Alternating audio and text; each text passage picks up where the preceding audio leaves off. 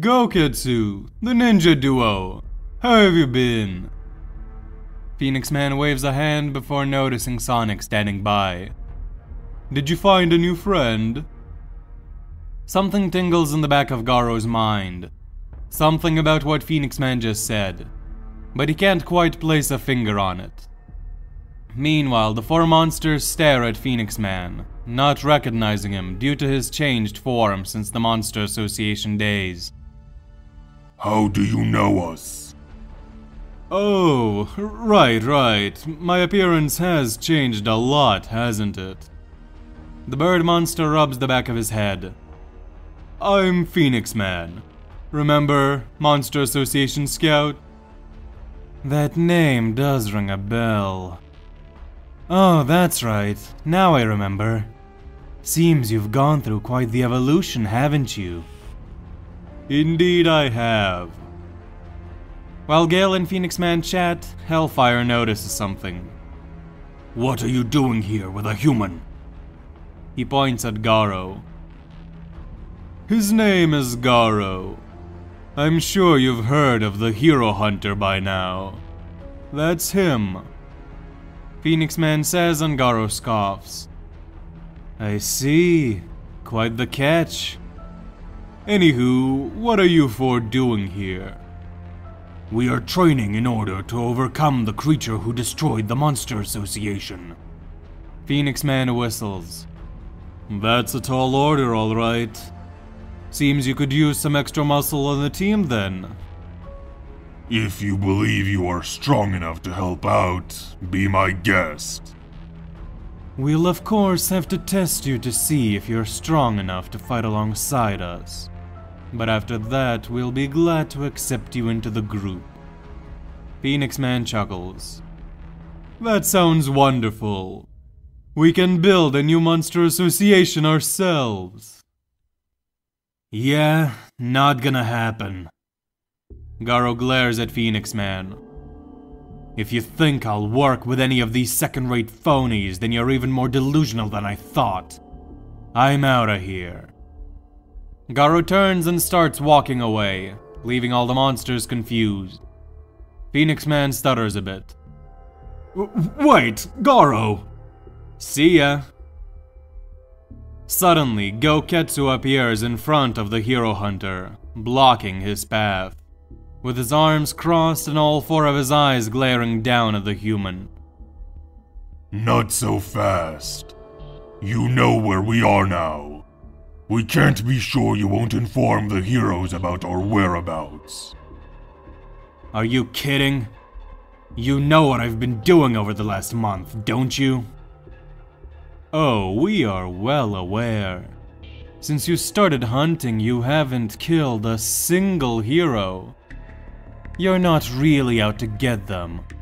And by the way, calling us phonies when you're the only non-monster here? Real ironic. In any case, we can't let you leave. Either you join us, or you die. Hellfire glares at Garou, and Garou glares back. A stare down ensues. No, no, let's not be hasty. I'm sure we can figure this out. You're the one who brought this human here, Beakman, or whatever your name is. I suggest you keep your mouth shut. Sonic says, already grasping his blade. He is really not amused at his training being interrupted.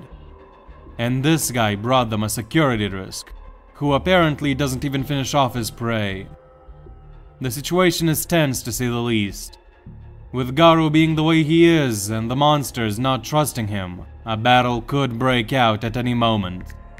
One thing is abundantly clear though. Garou and the monsters will not work together. Phoenix Man has to pick a side. He weighs his options.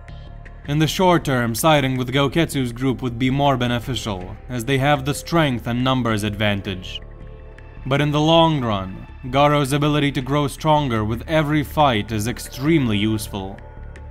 Phoenix Man plans to use him to grow his own strength. And so the bird monster makes a decision.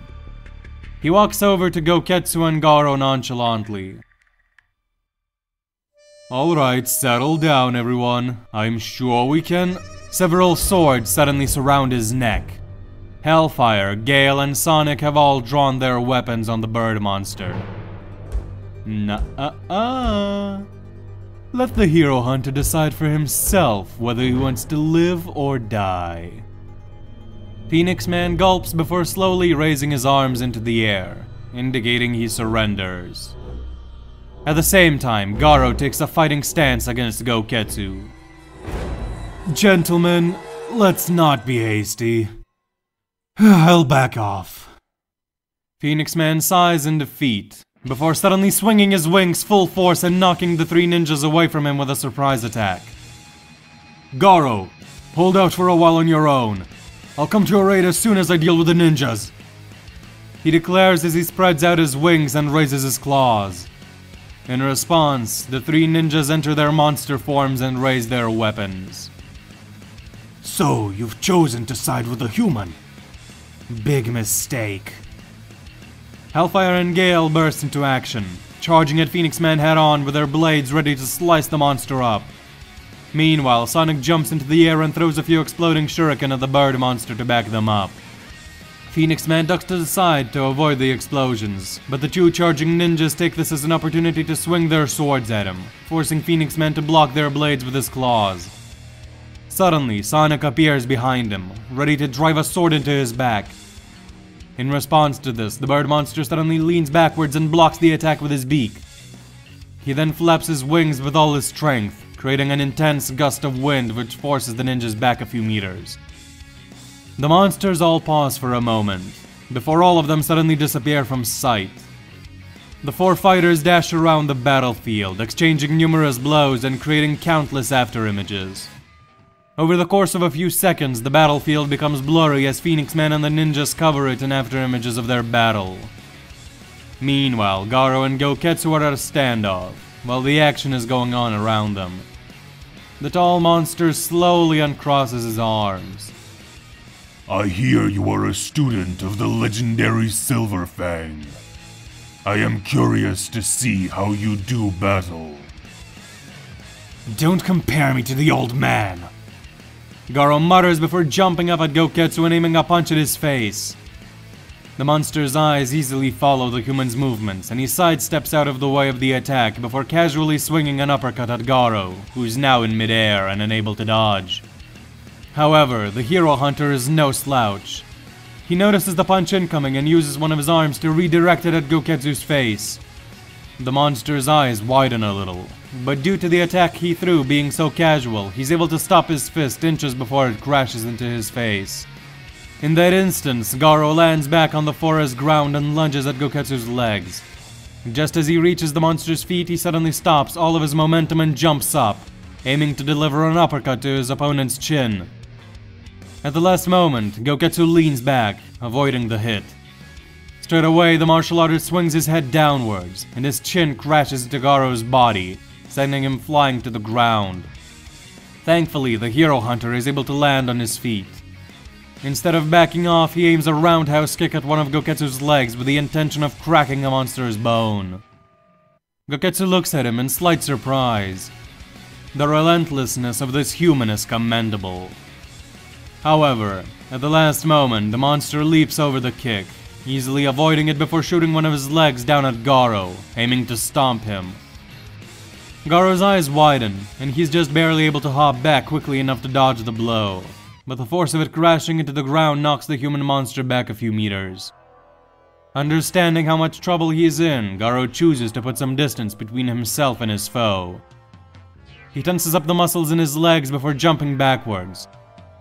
Suddenly, his back hits a wall. Or rather, it hits Goketsu's leg. Garou's eyes widen in shock as he realizes that his opponent is now behind him. A moment ago, the monster was right in front of him. How did he get around him so fast? Teleportation? No, this guy doesn't seem to have such powers. It's just his physical speed. Sweat drips down Garou's face as he experiences what a top-tier dragon-level monster is like for the first time. How terrifying. I will admit, your skills far surpass most martial artists I've seen in my lifetime. However, I've seen your master fighting, and he is better than this. Goketsu utters before suddenly kicking Garou in the back. The human monster grunts in pain as he flies forward a few dozen meters before landing on the ground on all fours. Not a moment later, he feels Goketsu's foot stomp down on him and flatten his body. Garou feels several of his bones break and shatter. The giant monster looks down at him. What's the matter? I'm barely stepping on you. Get up within three seconds, or I will crush you. Goketsu says and Garou grits his teeth. This thing, it's mocking him. And that's unacceptable. A glimmer of anger appears in the Hero Hunter's eyes, and he feels a surge of power coursing through his body. Don't you dare mock me! He shouts before suddenly standing up with such force that Goketsu's foot is launched a few meters into the air. The monster's eyes widen. Before he can say anything, Garou dashes out from underneath his leg and jumps at his waist, with speed far greater than anything he's shown thus far. Caught off guard, the four-eyed giant can't react in time and Garou delivers a furious blow to his stomach, following it up with more attacks to the abdomen, before Goketsu regains his bearings and launches a hand at him, intending to grab the human monster. However, to Goketsu's surprise, Garou grabs onto one of his fingers and springboards off of it, lunging at the giant's face. A fraction of a second later, the monster martial artist feels a fist collide with his chin, and his head is tilted upwards. Right after the punch, Garou raises his legs up to his chest in midair and kicks them both out at Goketsu's chin, delivering a powerful blow and pushing himself away from the monster's face. The hero hunter flips in the air before landing gracefully on his feet. How do you like that, you piece of garbage? Goketsu stumbles back a few steps before regaining his balance and slowly shifting his head downward to look at the hero hunter. To Garou's surprise, he doesn't see any blood or bruising on his face. It's like he never even hit him. What's this? Have you been holding back? No, that doesn't seem to be the case. Did you grow stronger just now? Interesting. It appears you were more of a monster than I originally thought. Damn right I am. Garou smirks, but that smirk soon disappears when Goketsu looks at him unamused. That is unfortunate for you. I won't have to hold back as much now as I did before. Garou's jaw drops. This guy was holding back? No, that can't be. Prepare yourself, boy. Goketsu declares as he takes a fighting stance. Garou gazes upon it and can't spot any openings. That stance is a clear sign of vast martial arts knowledge. Just who is this guy? What did Phoenix Man call him when they first arrived? At that moment, a terrifying realization hits the hero hunter. That's right, Goketsu. Now he remembers. The first ever winner of the Super Fight Tournament. A world famous martial artist. Not as well known as Silver Fang, but still up there in the big leagues of the fighting community. He was said to have died fighting a monster. Of course, now Garou can see that that wasn't true. Seems he turned into a monster instead somehow. In any case, this is bad news. Not only is this guy powerful, but he is also a master martial artist. Garou gulps and squats down into his own battle stance. Well then, let us begin. Goketsu leaps at the hero hunter at an unbelievable speed. The next thing Garou knows, he's flying through the air and crashing into a tree, shattering it into a million pieces. He gasps in shock. What the hell happened? He didn't even see the monster moving. Before he can think any more, he sees Goketsu dashing at him again. Just barely, Garou is able to kick off the ground and dodge to the side fast enough to avoid the giant's attack. But he is soon hit by a follow-up blow from Goketsu. A massive uppercut to the gut. The monster's fist crashes into Garou's body and rocks his bones, leaving the hero hunter numb. Goketsu then raises one of his fists into the air and sends it crashing down on Garou with enough force to break a few more bones and launch the hero hunter into the ground. Garou coughs up blood as he desperately tries to stand up, but as soon as he's back on his feet, he feels Goketsu's foot collide with his leg and shatter its bones. With one last grunt, Garou falls to the ground, with several broken bones in his arms and legs, he can't move. Goketsu glares down at him. Is that all? How disappointing. For a student of Bangs, you certainly don't live up to his legacy. I plan to face him someday. I wonder what he will say when I present your corpse to him. I say that is not going to happen. Get away from him at once, creature. Garou's eyes widen. Old man? Bang and Bomb step into the forest clearing, causing Goketsu's eyes to widen. He lets out a low, rumbling growl. So you really did lead heroes to this location after all. At the same time, Phoenix Man lands on the ground on the opposite side of the battlefield, with a few cuts on his wings and limbs. The three ninjas touch down near Goketsu as well. They all have cuts, bruises, and other minor injuries on their bodies. Gale looks at Goketsu. Seems you're right. Those bastards really did lead heroes to our location. Hey, it wasn't intentional. So what? It still proves you're incompetent. What did you? Phoenix Man is interrupted when one of his wings suddenly falls to the ground, having been sliced off of his body. One, two, three, four, five monsters! And the hero hunter. This place is a gold mine. Atomic Samurai steps out of the shadows behind Phoenix Man who grunts in pain and turns to face the new threat. Atomic Samurai. I've been looking to settle the score with you. The two warriors stare each other down. At the same time, Bang looks at Goketsu. Something about him seems familiar. That hair. Bang's eyes narrow, and Goketsu notices it. Do you recognize me by any chance? I am not entirely sure to tell you the truth. Something about you is definitely familiar, but I don't think we've ever met before. No, we have not. But my name should ring a bell. I am Goketsu. Goketsu? What happened to you? You seemed like such a promising young man back in the day. I even considered approaching you to offer a place at my dojo. But then I heard you had died. What really happened? Goketsu scoffs. How nice of you. Well, I suppose telling you won't hurt.